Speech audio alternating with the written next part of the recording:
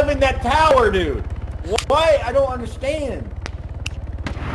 Dude, we got shot down. They have stingers. Oh. Shot down My my fucking ass. ass. The fucking U.S. dude, supplying them with stingers. Gotta watch out next time, dude. Jesus fuck. I think I just bought a $400 gun again. Fucking 9/11. I could have done. I tried evading.